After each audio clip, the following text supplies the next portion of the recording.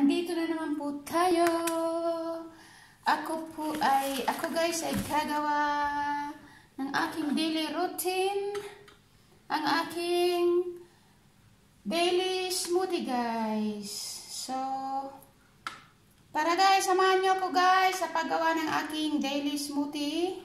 Iba-iba pong flavor ng fruits. So, ngayon guys, ang gagawin ko yung beetroot. Beetroot guys and uh, strawberry and watermelon. So, para guys, maganda sa katawan. Maraming benefits ang, um, ano guys, ang beetroot. So,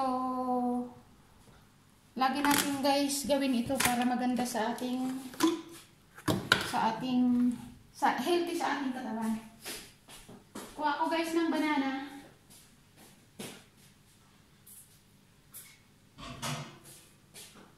Haluan ko siya guys ng banana. May beetroot. Ito guys ang ating aking beetroot. Ayan. Ayan. Ito guys, beetroot ay super healthy sa katawan guys. Bumili ako guys ng fresh, fresh na beetroot. Tapos, ako na guys ang nagluto. Nilaga ko na siya. Matagal nga lang to guys lagain kasi ano to guys. Eh, ganun talaga siya. Matagal siyang lagain. Mga almost half an hour. Half. Kailangan siya guys. Lumambot ng lumambot. Pag nilaga mo siya guys, uh, mid-fire para lumambot siya guys ng ganito oh. Kasi guys, pag bibili ka ng cook nito guys, parang hindi na siya healthy, di ba? So bili ka na lang ng fresh na beetroot. Tapos lagain mo siya. And my strawberry.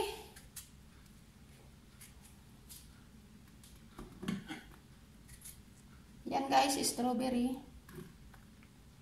Binili ko siya guys kahapon. Yung yung isang ganito guys, ay yung tatlong ganito guys, yung tatlong yung tatlong ganito, 5 euro, tatlong tatlong pack. So bumili ako guys kasi maganda to sa healthy to sa katawan. Ganito guys ang ginagawa ko everyday. Mga overripe ng fruits ni Amo. Tapos Imbis na masayang guys, imbis na itatapon ko. Kaya bumili ako guys nitong smoothie blender para lahat ng fruits na ano, mag-overripe siya. Dito ko siya isalag guys. Diba? Healthy pa sa katawan guys. Parang nag-take ka na rin ng everyday vitamins. More than pa. More than pa sa vitamins guys na niti-take mo, diba? Healthy sa katawan. Maaano pa yung yung ano yung mga organs, malilinis niya pa, di ba guys? Tapos at the same time, maganda sa skin. Yung lagi kang mag-take ng mga fruits.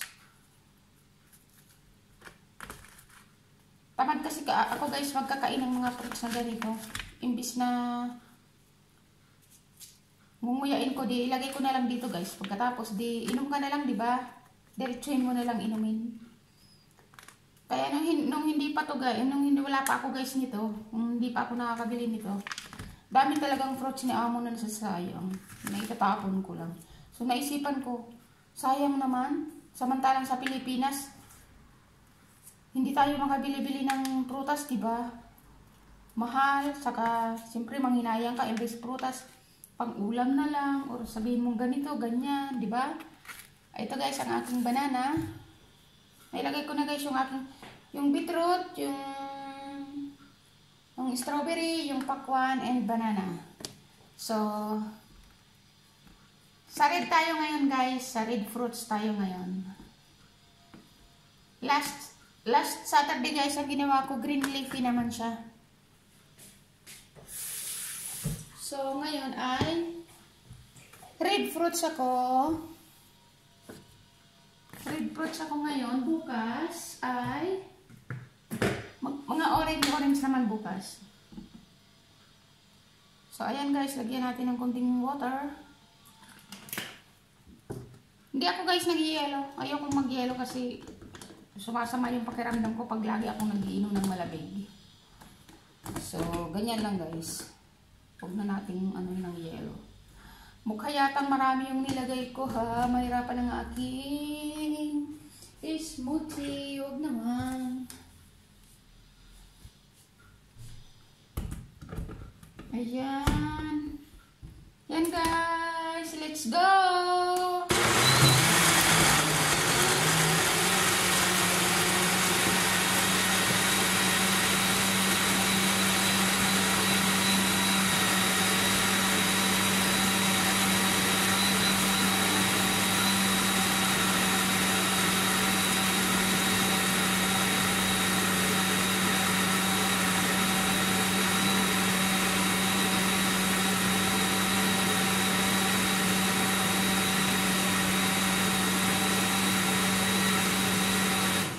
Yan na guys, tapos na siya. Tapos na siya guys. Yan na siya. My daily smoothie. Beetroot, strawberry, watermelon, and banana. So, let's taste guys. Kung anong lasa niya. Tikman natin.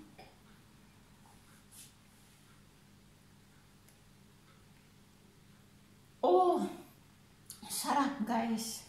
Sarap talaga. Super healthy. Ma maramdaman mo siya. Yung freshness niya. Yung yung ano niya, yung blend ng apat na fruits na nilagay mo. Super sarap. Super sarap sa katawan. Pagkatapos ko guys magdilig ng halaman, oh, ito. Ito ang ginawa ko. Mag-smoothie ako kasi Start na ako ng work sa taas, guys. Maglilinis, mag magbe-beddings, maglinis ng sala. So, bawa, kailangan kong may energy!